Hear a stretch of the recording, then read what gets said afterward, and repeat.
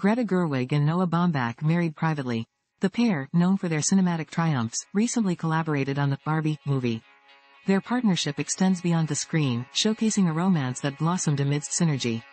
Greta Gerwig, acclaimed for directing Lady Bird, brings unique storytelling to the Barbie universe. Noah Baumbach, celebrated for Marriage Story, infuses depth into the doll's narrative. Their wedding, a blend of intimate glamour, reflects the couple's sophisticated style. Fans eagerly anticipate the Barbie film, expecting a fresh take on the phenomenon. The marriage of Gerwig and Baumbach symbolizes a union of visionary minds. The film industry watches with interest. The Barbie movie, slated for release, is set to be a testament to genius. With the creators of Barbie, now life partners, the cinematic world awaits the magic they'll conjure next.